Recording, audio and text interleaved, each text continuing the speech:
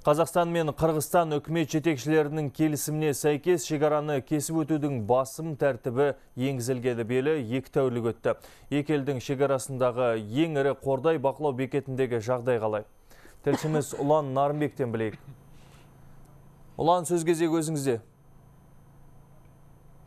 Қайырлы күн, Әнуарбек Қордай шекаралық бақылау бекеті қалыпты жағдайда жұмыс істеп тұр. Біздің байқауымызша таңертеңмен Қырғызстаннан Қазақстанға кіріп келе жатқан адамдардың кезегі мүлдем аз болады. Олар шекаралық бақылау бекетін санаулы минуттағы өтеді.